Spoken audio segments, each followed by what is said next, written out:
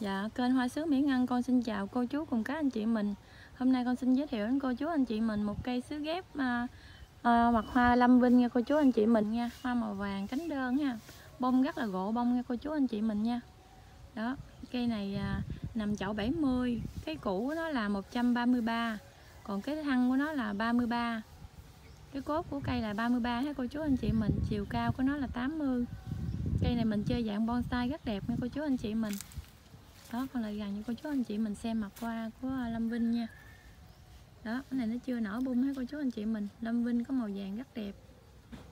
Nó có cái sọc trắng ha.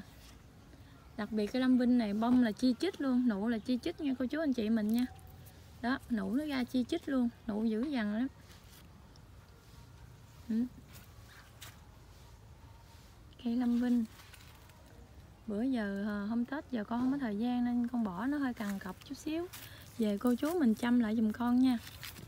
Cây này là nằm chậu 70 hoành cũ là 133 rất đẹp luôn nha cô chú anh chị mình nha.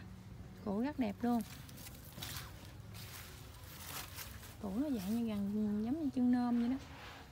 Cao lên rất đẹp một cốt.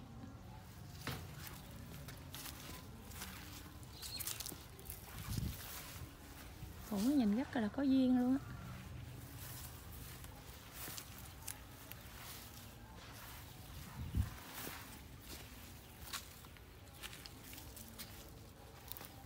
Đây, rất đẹp như cô chú anh chị mình nha. Cây này con xin giao lưu với cô chú anh chị mình là một, là 2 triệu à, 2 triệu 300k thôi. Con lấy cái giá hữu nghị cho cô chú anh chị mình chơi nha. 2 triệu 300k con bao phí ship nhổ cây lên dao nha cô chú anh chị mình nha đó, cây lâm vinh, một cái giống rất là hiếm nha cô chú anh chị mình. Đó. Lâm vinh màu vàng 2 triệu ba, rất rẻ nha cô chú anh chị mình nha. Tại đầu năm con bán lấy cái lọc của cô chú anh chị mình nha. 2 triệu 300k rất rẻ. Con bao phí ship nhổ cây lên dao nha cô chú anh chị mình. Ai yêu mến thì liên hệ với con qua số điện thoại là 0932 612 668 Dạ con xin chào và hẹn gặp lại cô chú anh chị mình vào clip sau. Con cảm ơn cô chú anh chị mình đã lắng nghe hết video của con.